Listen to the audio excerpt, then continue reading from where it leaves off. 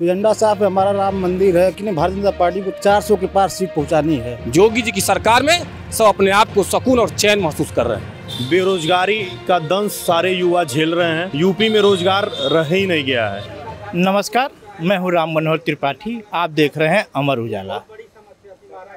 देश के सबसे बड़े पर्व लोकसभा चुनाव नज़दीक आ गया है। सियासी दल अपनी बिसात बिछाने में लगी हुई हैं।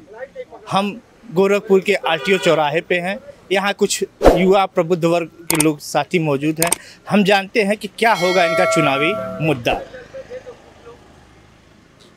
नमस्कार क्या नाम है? करमवीर सिंह वीरू।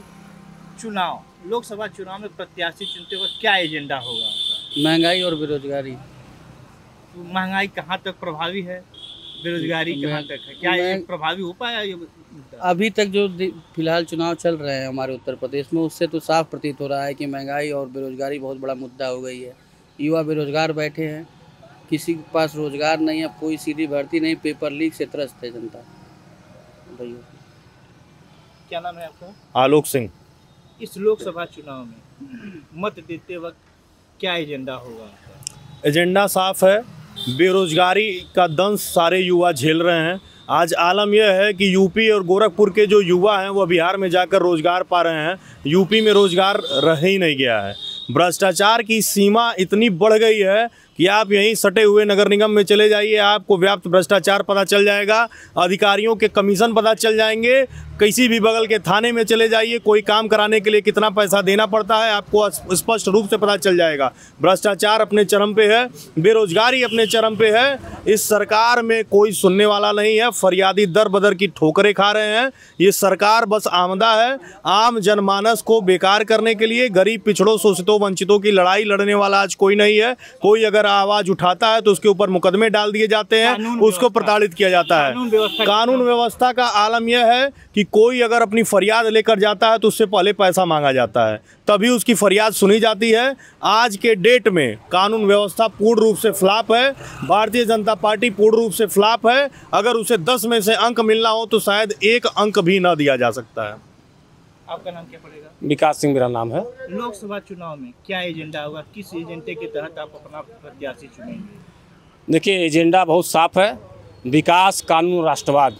ये हमारा एजेंडा है। हमारे साथी ने कहा कि कानून व्यवस्था की स्थिति, कानून व्यवस्था की स्थिति यही है कि उत्तर प्रदेश में योगी आदित्यनाथ जी का शासन है और गुंडे माफिया थर थर काँप रहे हैं। एक समय था जब थानों को किसी पार्टी के कार्यकर्ता चलाया करते थे। ये दिन हमारे साथी को याद नहीं है, लेकिन मैं पूरे गारंटी के साथ कहता, बहुत ईमानदारी के साथ कह सकता हूँ कि पक्ष हो, विपक्ष हो, आम हो, खास हो जोगी जी की सरकार में सब अपने आप को सुकून और चैन महसूस कर रहे हैं। रोज़गार और महँगाई रो, रोज़गार और महँगाई मैं साथी की बात से अपने आप को जोड़ सकता हूँ मैं ये नहीं कह सकता कि ये मुद्दा नहीं है। लेकिन पिछली सरकारों ने आपने देखा होगा जिस तरह से आम आदमी के खातों में आम आदमी के पैसे पर ये पिछली सरकारें डाका डाला करती थी और नौजवानों के साथ धोखा करती थी ये जब से मोदी जी की सरकार बनी है उत्तर प्रदेश में योगी जी की सरकार बनी है नित नए धंधे लगा करके आप गोरखपुर में चीनी मिल गीडा में चले जाइए, तरह तरह के कारखाने लगा करके जिस तरह से युवाओं को रोज़गार देने का काम हमारी सरकार कर रही है, भारतीय जनता पार्टी की सरकार कर रही है, निश्चित रूप से अन्य सरकारों के लिए ये आईना दिखाने का काम है और चुनाव प्रमाण है। हम लगातार सत्रह चुनाव जीत रहे हैं, बाईस जीते, उन्नीस जीते और चौबीस भी इस चुनाव को हम बड़े वोटों से और बड़ी सीट के साथ जीत करके आएँगे तब हम अपने साथी हमारी बात को समझेंगे। जनता वोट दे करके साबित कर रही है कि आम जनता जोगी जी और मोदी जी के साथ है। पेपर लीक युवा में कहाँ तक ये जो पेपर लीक कर रहे हैं उनके खिलाफ कड़ी कार्रवाई हो रही है। जोगी जी ऐसे लोगों कर ऐसे लोगों पर कड़ी कार्रवाई करके उनकी नानी याद दिलाने का भी काम इसी सरकार में कर रहे हैं। पिछले सरकारों में एक जात विशेष का जिस तरह से लिस्ट आता था ये हमारे साथी को याद नहीं है। जिस तरह से अन्य अन्य लोग उनके पास योग्यता होने के बावजूद भी उनका नाम लिस्ट से काट दिया जाता था। ये हमारे साथी को याद नहीं है। इसको भी याद करना चाहिए इसको भी कहना चाहिए। केवल दो तरह की बातें ये बर्दाश्त योग्य नहीं है। क्या नाम पड़ेगा दीपक सिंह। लोकसभा में प्रत्याशी चुनते वक्त क्या एजेंडा रहेगा आपका? एजेंडा साफ़ है। इस बार भारत के 140 करोड़ ने संकल्प लिया है कि मोदी जी को 400 पार मोदी जी की ने भारतीय जनता पार्टी को 400 साठ 400 के पार सीट पहुंचानी है।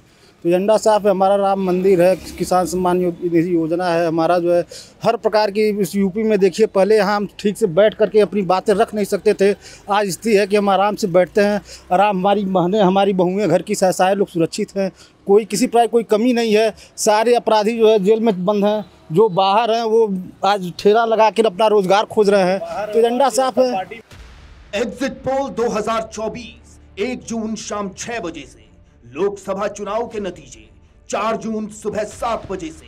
देखिए, चुनाव नतीजों से जुड़ी हर खबर, सबसे पहले, सबसे सटीक, केवल अमर उजाला पर, अमर उजाला डॉट कॉम।